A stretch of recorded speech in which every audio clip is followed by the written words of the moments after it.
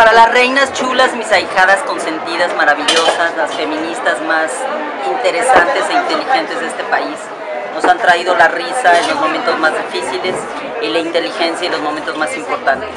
Valen mil, no cambian.